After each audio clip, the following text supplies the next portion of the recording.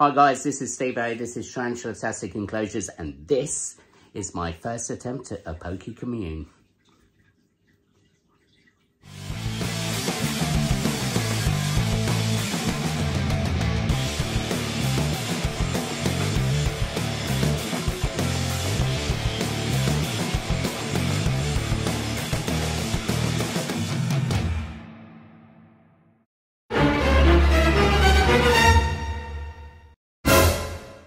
Hi guys, welcome back. Right, today we are doing a Poke Commune. Right, uh, first I've got to say a big thank you to Dave Wurzel.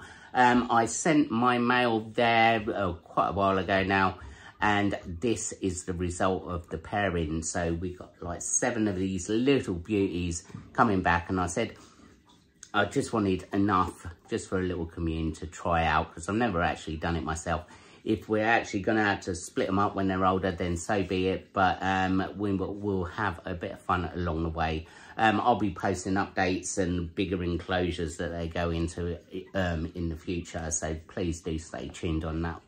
So without further ado, we are going to get down to the unboxing and we're going to rehouse these little demons.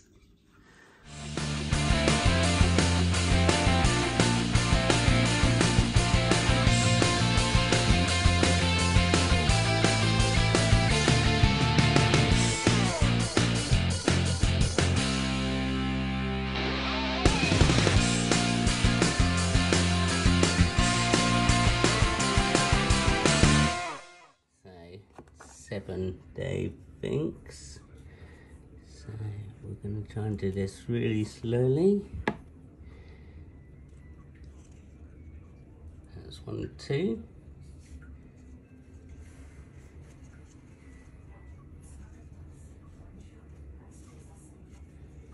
Two in.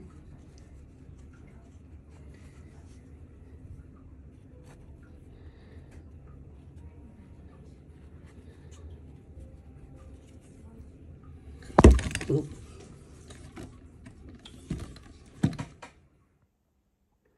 there we are, seven little beauties all to go in. Now we're probably going to have to split these up when they get older, but we're going to have a little bit of fun growing them up all together. So what we've done, we've done a simple little setup. We only want one hide in here, so we want to basically try and keep them all together in the same part. And I think the secret with doing these is trying to keep them in the tightest space as possible so they don't they just learn to live in the same sort of area they don't, don't become territorial. As I say, we're probably going to have to split these up when they're adults or sub-adults.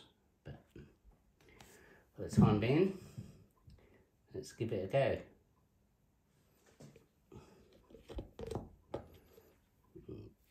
So let's just see and we can get in one, two, whoa. That was a quick one too.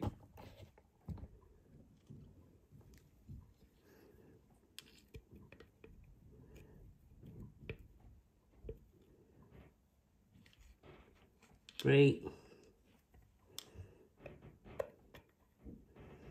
Four, five.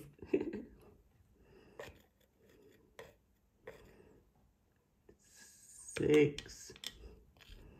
Last one number seven.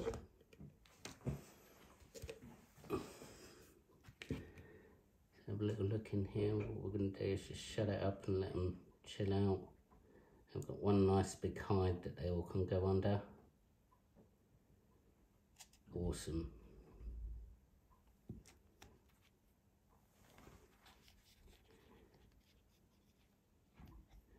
And that was a quick, easy rehouse. So that was a little bit easier than I actually thought. Um, I actually put them all into the one tub and then just um, transferred them into that little tiny enclosure. So what we're probably going to do is leave them um, until they molt a couple of times. And then I've got another enclosure earmarked for the next um, communal journey on those ones. I know um, a lot of people say these don't work and stuff and you probably have to uh, eventually split them up in the future. But so be it, we'll have a little bit of fun along the way, um, see them grow.